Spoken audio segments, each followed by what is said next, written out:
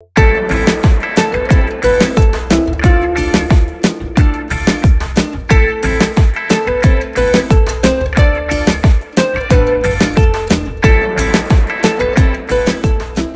an bulunduğumuz alan Kula Peri Bacaları olarak isimlendirdiğimiz bölge. Jeoparkımızın en çok ziyaretçi alan jeositlerinden bir tanesi.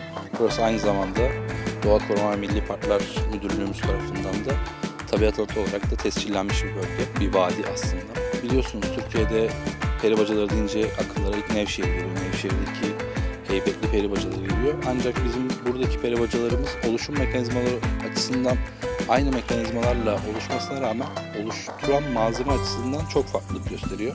Nevşehir'deki peri bacaları volkanik tüflerin aşınmasıyla oluşmakta. Bizim bölgemizdeki peri bacaları Kula ne kadar çevresinde volkanizmayla ünlü olsa da peri bacalarının malzemelerinde herhangi bir volkanizma ürünü yok. Burası aslında 14 milyon yıl önce bir gölün tabanıydı. Bu gölün tabanını etrafından biriktiren, akarsularla taşınan alüvyal çökellerin oluşturduğu bu katmanların zaman içinde gölün dreni olup bu vadinin sudan boşalmasından sonra kalan kalıntıların rüzgar suyla aşınmasıyla oluşuyor. Aşınma mekanizması Nevşehir'deki peri bacalarıyla aynı. Yukarıda bir şapka dediğimiz daha sert, gövdesine göre daha sert bir yapı.